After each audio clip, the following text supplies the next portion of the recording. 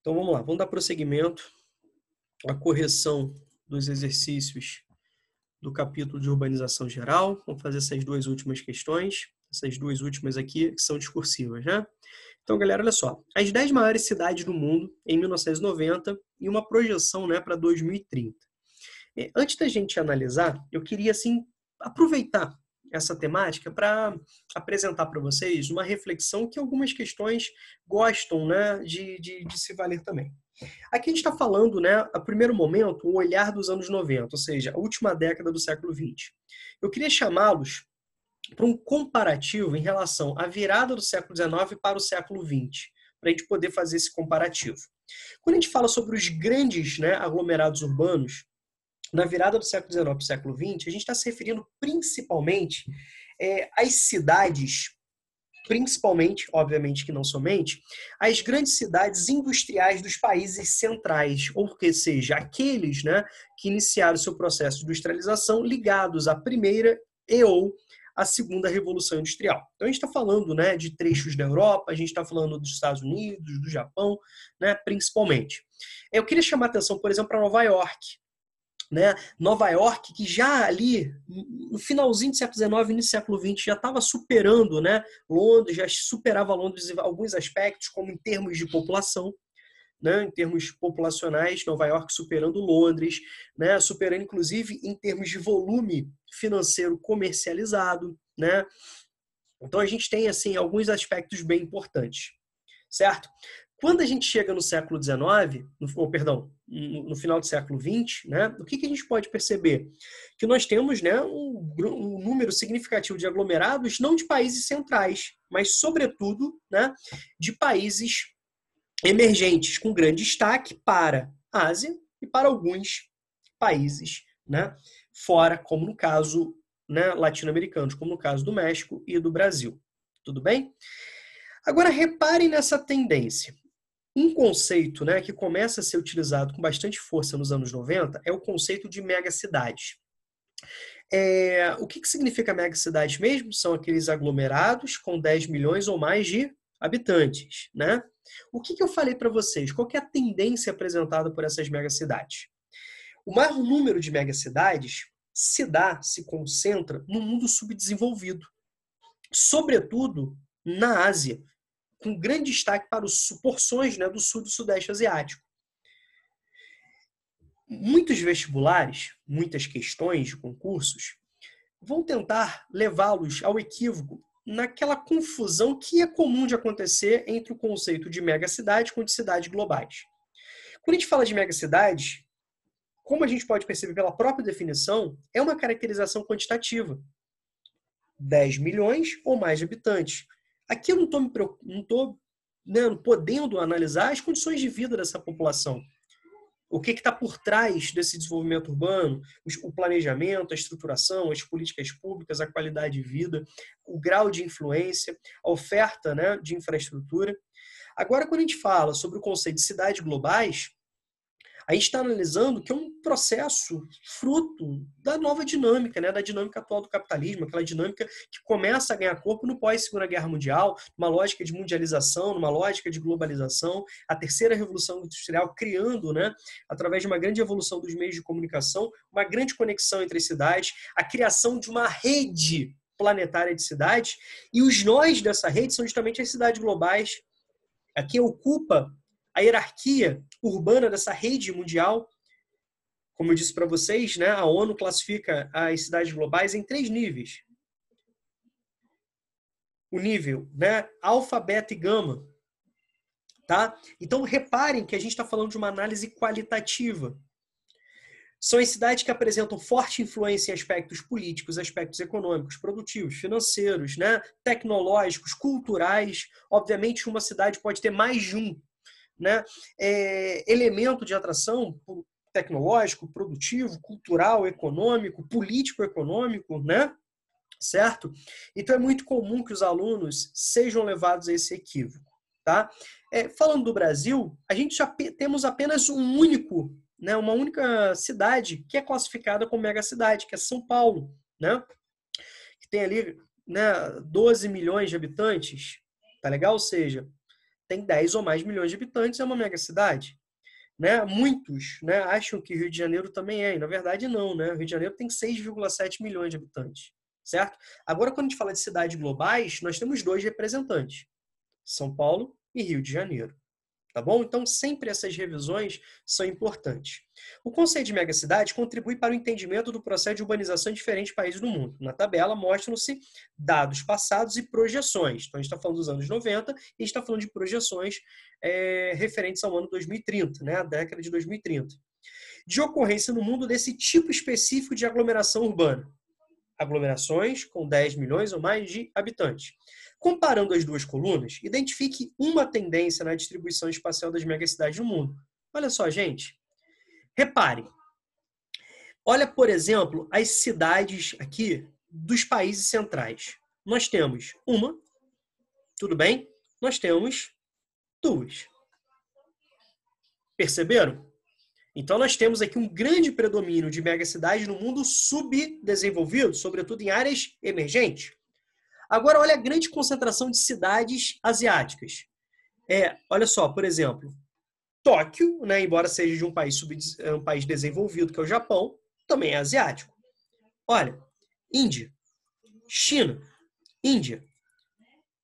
É, aqui, ó, de Pequim é China, né? Tá errado aqui na, na questão, tá?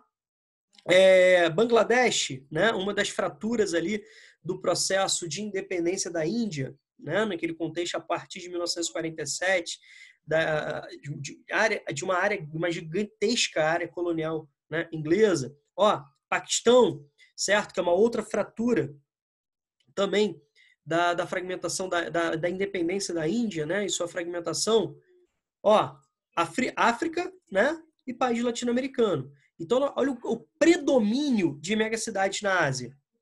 Então, por aqui você pode perceber que são duas assim importantes, é, dois importantes destaques. O grande predomínio de cidades em países subdesenvolvidos, sobretudo países subdesenvolvidos emergentes, tá legal?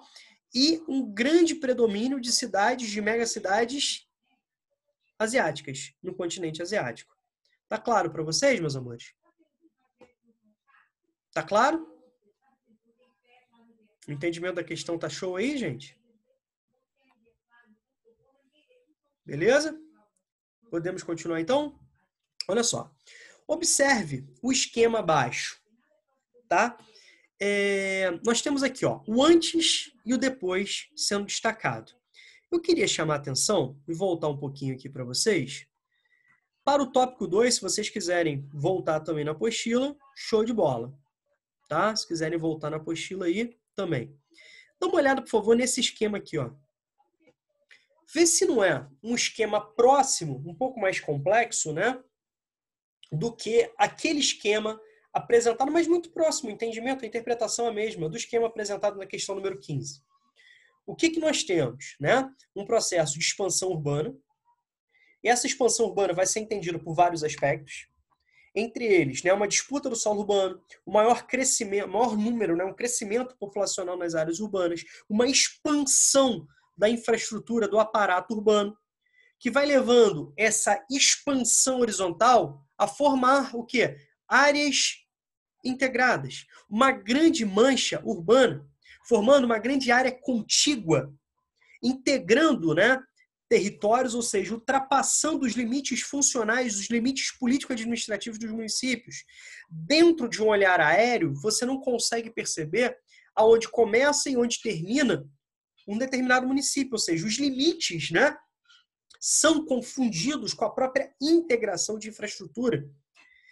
Uma das grandes características de uma região metropolitana, que é uma área, né, de forte integração, de forte interdependência, de forte conexão entre, os, entre, a sua, entre a metrópole principal e os municípios adjacentes é justamente a formação de uma área contígua, uma área conurbada, uma área né, de grande expansão da mancha é, urbana, com oferta né, e a integração de serviços, de infraestrutura, transporte, comunicação, é, atendimento é, hospitalar, médico hospitalar, infraestrutura educacional, Tá legal? Então reparem, né? Que a questão é muito próxima. voltando aqui para a questão número 15, a gente vai perceber isso. Ó. Então, antes, né, nós temos áreas não ocupadas, vazios, né, urbanos. Tudo bem? Repare que, no segundo momento, o que, que nós tivemos? Um crescimento de A e de B, e, consequentemente, nós tivemos uma área integrada, uma área contígua. Tudo bem? Que é justamente essa expressa aqui pela questão do C. Repare que o crescimento urbano levou a isso.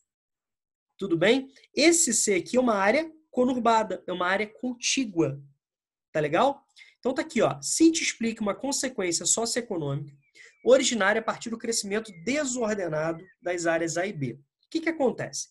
Se a pergunta não tem esse desordenado, o leque de opções era maior. Mas a questão quer que você fale justamente por um crescimento desordenado, ou seja, a questão quer que você cite e explique problemáticas socioeconômicas de uma lógica de crescimento urbano com baixo planejamento, com planejamento a quem. Então vocês podem falar sobre a questão da moradia, né? Áreas, né, de moradia com infraestrutura precária, né? Muitas delas sem né, o atendimento de rede de esgoto, de rede de água, de coleta de lixo regulares infraestrutura sanitária adequada, acessibilidade nem sempre condizente com a necessidade da população, a oferta de serviços públicos, como, por exemplo, escola, como, por exemplo, hospitais, postos de saúde, segurança, oferta cultural, certo? Em muitos casos, nós temos né, a lógica de segregação socioespacial, tudo bem? A gente pode falar sobre as problemáticas né, relacionadas à violência. Tudo bem? Certo? A gente pode falar da questão do emprego, do desemprego, do trabalho né, é, informal. Tudo bem? São todas consequências de um crescimento econômico desordenado, inclusive um caos no trânsito. Tudo bem? Então vocês podem se dedicar a citar e explicar determinadas consequências socioeconômicas ligadas à questão da moradia, à questão do emprego, à questão da violência, à questão da, da, do fluxo, né, da questão dos transportes, tranquilo? A questão da segregação socioespacial. São aspectos né, que nós analisamos que vocês vão jogar aqui. Então, o grande detalhe aqui é o desordenado, tá bom? É o desordenado. O item B está perguntando, está pedindo o seguinte: ó, cite um fator responsável pela expansão das áreas adensadas. Ou seja, cite um fator responsável por isso aqui, ó, pelo crescimento urbano que leva, entre outros aspectos, tem como resultado, como consequência, entre outros aspectos, ou pode ter né, a formação de uma área contígua, de uma área conurbada. O que, que você pode perceber? O grande fluxo migratório, o grande crescimento do número de indivíduos de uma determinada área urbana, fruto de um êxodo rural, que continua né, a caracterizar algumas regiões, ao mesmo tempo, uma disputa pelo solo urbano, aumentando o processo especulativo, aumentando né, a dificuldade de ter acesso ao solo urbano, aluguéis elevados, é, né, valor né, de, de moradias muito caras, políticas públicas negligentes, que vão levando a isso. Então você vai percebendo né, que áreas progressivamente nas franjas urbanas vão sendo ampliadas, vão sendo integradas a partir do avanço de concreto, a partir do avanço de asfalto, a partir de avanço de infraestrutura, né, de transporte, avanços de, de construções como prédios, né, como estruturas variadas, tá legal? Levando a esse processo, né, de expansão, tudo bem? Gerando uma grande integração, um grande adensamento populacional, ou seja, são áreas com densidade demográfica bem elevada, tá? É, se a gente pegar, por exemplo, os municípios com mais de um milhão de habitantes, é, fora das capitais, a gente pode pegar, por exemplo, né, aqui, aqui no estado do Rio, São Gonçalo. São Gonçalo é um exemplo clássico desse grande adensamento, tudo bem? Populacional em muitos aspectos, olha só, um crescimento desordenado. A gente pode pegar, né, aqui próximo a gente como um grande exemplo. Tá legal? Uma área de grande adensamento populacional, inclusive muitos indivíduos passam a morar em São Gonçalo, mas a trabalhar em municípios como Niterói, Rio de Janeiro, né? Você pode, né, fazer aquela relação com a intensificação da migração pendular, né? Horas e horas e horas e horas e horas aí, né? É, sendo sendo gastas, né? No transporte, no deslocamento casa-trabalho, casa-escola e no retorno, obviamente. E todas as problemáticas, assim, obviamente que a questão estava pedindo isso, né, não diretamente, mas é bom para a gente analisar todas as problemáticas econômicas envolvidas, todas as problemáticas sociais envolvidas, todas as problemáticas ambientais envolvidas, tá? Então, tudo isso aí é extremamente importante, tá certo? Gente, deu para entender é, o que, que, se, a, que, que questão esperava de vocês? certo? De novo, eu voltei ao tópico 2, aquela parte ali onde nós temos o resumo né, sobre os principais conceitos urbanos. Tá claro? A gente precisa sempre recorrer. No próximo capítulo, vocês vão perceber que a mesma coisa vai acontecer, tá certo? Gente, alguma dúvida, alguma pergunta? Então é isso.